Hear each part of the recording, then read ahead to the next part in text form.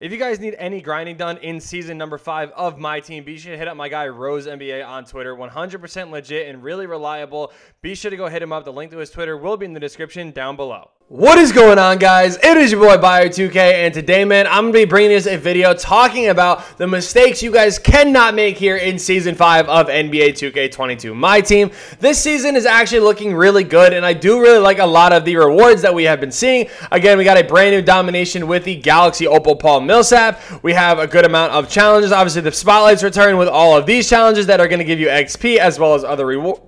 Excuse me, as well as other rewards. You have the signature challenge that does give you another Hall of Fame badge. Um, and then you also have these skills challenges as well. So, my God, of course I get hiccups right when I start recording. Why would I not? But anyway, if you guys do enjoy this video, do me a favor and kill that like button. If you guys are new to the channel, be sure to hit that subscribe button. And without further ado, let's get right into it. All right, so getting into the very first mistake here that I'm going to tell you guys not to go ahead and make. First thing right out the gate, you guys are going to see that it's actually not here for me, and the reason why is obviously I just did this in a different video, but the Diamond Shoe Boost Exchange that you guys can do every single hour, and I do put this in every single video because it really is that important. It literally takes like two seconds to go ahead and do, and you should have a ton of Shoe Boost. I do not open any packs on this account, and you guys can see I have literally a ton of Shoe Boost. They're literally, like, they're useless until you get to the Diamond ones anyway, so make sure you guys do take the time to go ahead and do these exchanges. It's just going to be good, free, free MT basically that you guys can go ahead and use. Now, also looking into your collection, what I'm going to say right out the gate is always look to sell stuff. Unless you're collecting cards for whatever reason, always look to sell stuff that you are not using. You can literally have a ton of value when it does come to, you know, injury cards, badges, all sorts of stuff like that, that more than you probably even realize. So take the time, go through your collections, and always look to go ahead. I didn't even mean to lock that in. I literally was about to say, I'm not even joking. I was legitimately about to say that if you're not going for a collector level, sell all of these balls as well. But you know, as I lock it in, I mean, don't don't be me. That, that's that's the advice I can give you guys right there. Don't be me. I mean, literally, people are trying to still go for the unicorn ball and everything. So a lot of these basketball packs and everything still do hold value. Like this ball right here, I could probably sell for like twenty five hundred, and it's literally just sitting in my collection. So it's literally things like that that I'm saying. That make sure you guys just go through, take the time. You know, it literally takes a couple minutes and literally, you'll probably make a ton more MT than you probably even realize. And I'm even saying this too with the Diamond Shoe Boost as well. You could probably have a ton more MT in here than you guys probably even realize just based on, again, the fact that they're just sitting here. You know what I mean? Some value is better than no value. Even if you get the minimum of like 250 MT, that's still better than it just sitting in your collection. So definitely, again, take the time and go ahead and look to do that. Dynamic rating cards, again, right now are a prime example of this. If you guys are not, you know, going for collector level, this is a great time to go ahead and especially the mid-level guys, this is a good time to go ahead and, you know, see if you can, you know, maybe make some MT on some of these guys. Like right here, Garrison Matthews. I mean, again, I'm not going to be going for collector level. I'm not playing with this card. That is 2,000 MT right there. Again, that is just sitting in my collection. So definitely make sure you guys do take the time to go ahead and do this.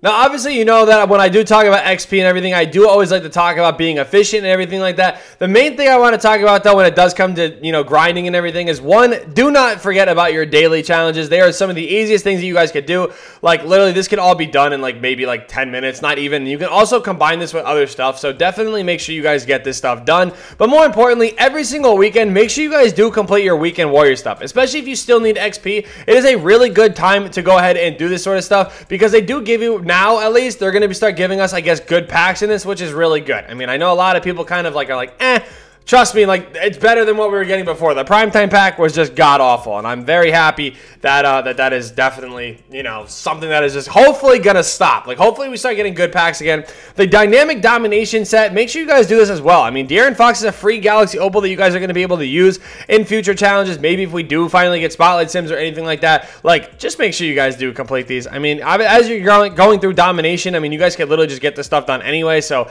it's definitely well worth taking the time and doing. And as as always, going to your single player challenges, the pickup challenge is really good to do every day as well, especially in the beginning of the season when you're grinding XP. This challenge would be perfect to go ahead and get a free pack that could potentially make you a good amount of MT as well. So definitely something you guys don't want to overlook. Now, something that I realized a lot of people did not see last season, which is kind of surprising to me, in these spotlight challenges here, this final game here does give you a Hall of Fame badge option again at that level 39 pack, and that level 39 pack is really good. It does feature some good badges like like Sniper, uh, Clamps. I have it actually right here. Quick Chain, Pickpocket, and Posterizer. So by the end of the season, you're going to be getting three choices at this pack. Definitely recommend taking Clamps, Sniper, and I mean, if you're a dribbler, take Quick Chain, but Pickpocket is really good as well. And then obviously you do get that third choice being with the Beyond Level 40 stuff that will be dropping mid-season. So make sure you guys do go ahead and again take the time to do that when it does show up. Now, I'm going to be making a video on this throughout the week, and I'm going to just kind of put it in this video as well. Do not lock in the 75th sets. I'm telling you guys right now, this is going to be the worst mistake you guys can make in this game. I mean, especially if you are a budget baller, no money spent player, or like maybe like a little money spent player, you know what I mean? Do, do not, just, I'm telling you guys right now, do not waste your time and do not waste your MT by locking in these sets. So far, we only know two of the lock-ins. The 2000s is Dwight Howard and the 2010s is Klay Thompson. And as I'm going to be saying fully in like a full breakdown video, this Klay Thompson that you're going to be locking in for, you're going to be locking in a ton of MT and he's literally going to be almost the same thing as this signed version of Klay that you can get for super cheap. And I'm telling you guys, just do me a favor and not lock in for the Klay. Like I'm just I'm I'm begging at this point. That Klay is not gonna be like for 99% of this community, that Klay is not gonna play any different than what this Klay will. So I'm telling you guys, it is not worth locking in tons of MT for literally the same exact card. The Dwight Howard might be a little bit worth it only because if you look at the set here, I mean, Melo's kind of cheap, Tim Duncan's cheap, Dirk is cheap. Like Kobe's the only one that's a bid. So, I mean, I guess you can kind of get away with it there, you know, without really breaking the bank, I guess. But I'm still going to say right now, like, please, for the love of God, do not lock in those, uh, do not lock in those sets, please. It is not worth it. I'm telling you guys right now, it is 110% not worth it. Please do not waste your MT like that. Like, it's just, I know a lot of people, again, are going to be like, oh, yeah, it's Klay. Like, I trust me, I love Klay. Like, Klay's my guy. It's a waste of MT, man. Don't do it. Also, too, I don't even know if I said this already because I, I, literally I'm recording a ton of videos in the ro- in a row. I am going on vacation, so you guys are going to be seeing me or seeing me wear the same stuff basically in the next like nine videos. Um, but yeah, card grading service, please Please, please, please, please, please do not do this. It kills the value on cards. Again, I'm telling you right now, a lot of people will avoid buying cards specifically because of the fact that they have a grade on it. Most of the time, you're going to get a 7, so unless you're doing it for XP, stay away from the card grading stuff. Final little pointers that I'm going to be giving you guys in this video. Obviously, right out the gate is going to be the lifetime agendas here. Um, and what I obviously am mainly talking about is going to be the uh, moments of the month stuff. Like, oh, I, duh, I already have it completed. I'm like, where is it? Yeah. Moments of the month is going to be expiring. Uh, I think it's March 8th, I want to say that they did say that the new moments of the month is going to be dropping. So I definitely would make sure that you guys do go ahead and get Booker and get all of these players. I know people might overlook it right now, but I'm telling you guys, it is a ton of originally owner cards. You never know when you're going to be able to use or you know, you never know when you're going to be able to need some of these cards for different challenges. So it's definitely worth just going ahead and taking the time to do. I mean, waiting till now might be a little rough because they're probably going to go kind of nuts. And, you know, you're going to end up getting a lot of people that are sweating you online. But other than that, it is definitely worth doing.